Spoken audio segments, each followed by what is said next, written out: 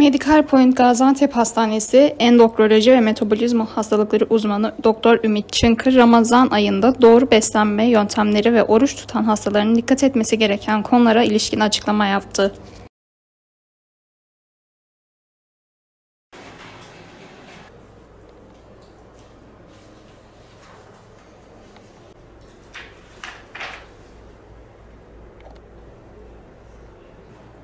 Nasıl çıkmayacak? Sürekli.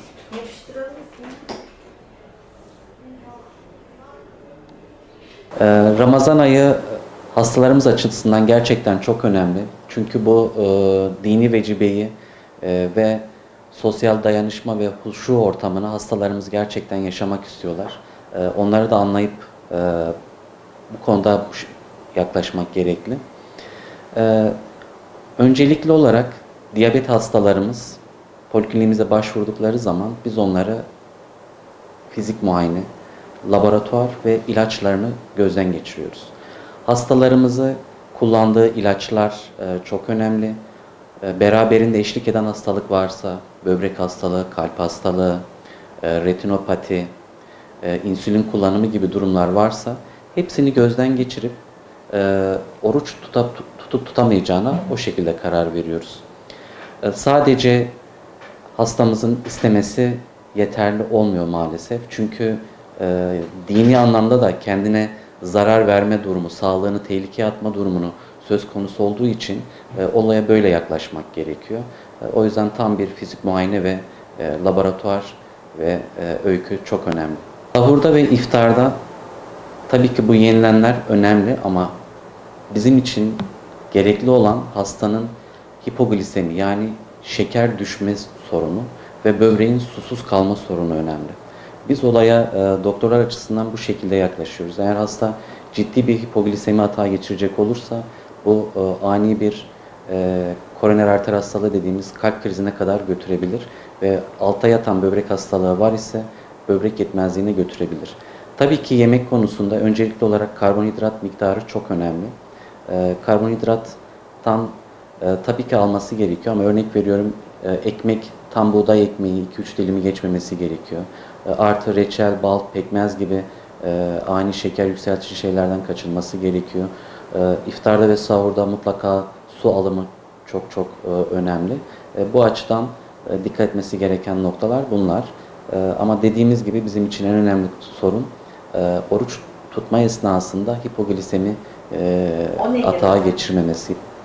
Hipoglisemi kan şekerinin düşüklüğü.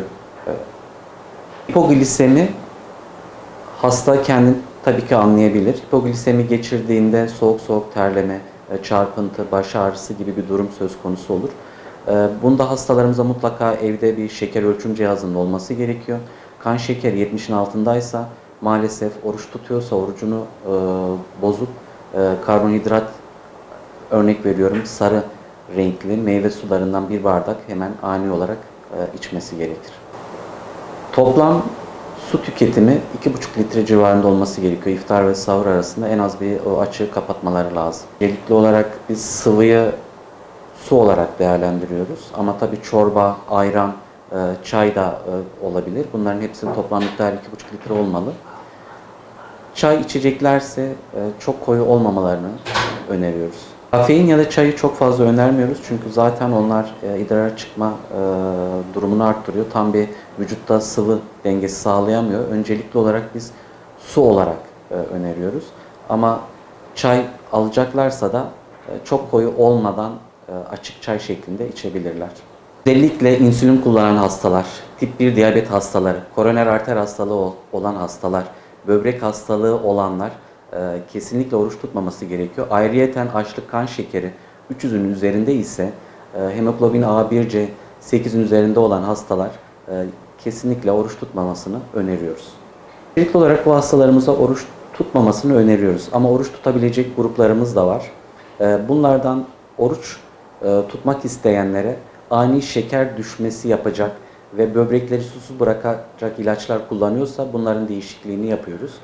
Bu şekilde e, oruçlarını tutabilecek olan grubu oruç tutmasını öneriyoruz. Ama oruç tutanlar da mutlaka sahurda ve iftarda hidrasyona dikkat etmeleri gerekiyor. Ani hızlı yemekten kaçınmaları gerekiyor. mutlaka e, yemeği e, yavaş yani 30 dakikada yiyecek şekilde yemeleri gerekiyor. Öncelikli olarak mümkünse e, suyla ve beraberinde bir kase çorbayla başlamalarını öneriyoruz.